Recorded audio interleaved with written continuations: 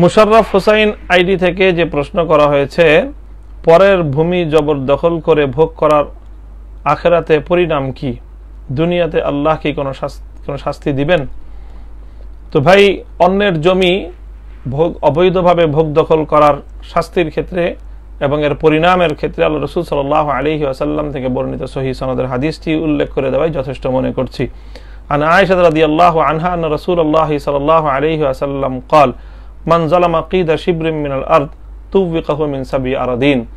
যে ব্যক্তি এক বৃহৎ পরিমাণ অন্যের জমিন অবৈধভাবে জবরদখল করবে, অন্যায়ভাবে দখল করে নিবে, আল্লাহ পাক রব্বুল আলমিনের পক্ষ থেকে শাস্তি হিসাবে কেয়ামতের দিন সাত জমিনকে তার গলার মধ্যে ঝুলিয়ে দেওয়া হবে।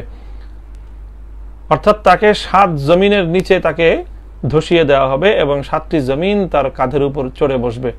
ভয়ঙ্কর শাস্তিতে আল্লাহ পাক রব্বুল আলমিন তাকে নিপতিত করবেন।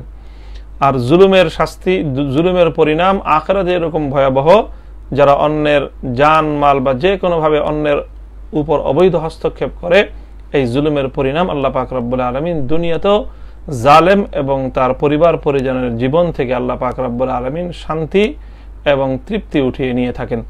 কাজী এই ধরনের জুলুম থেকে নিজেকে পরিহার করা, নিজেকে বিরত রাখা প্রত্যেক ব্যক্তির জন্য অবশ্য কর্তব্য।